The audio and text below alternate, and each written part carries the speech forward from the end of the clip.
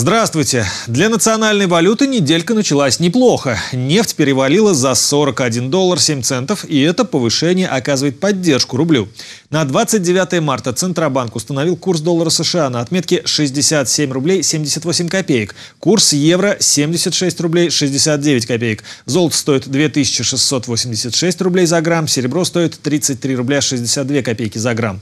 Премьер-министр призвал правительство возобновить индексацию пенсий с 2017 2017 года, а россияне оказались более ответственными заемщиками, чем американцы. Кстати, американцы гораздо спокойнее относятся к долгам, чем жители многих других стран. А на сегодня это все. Удачи в делах!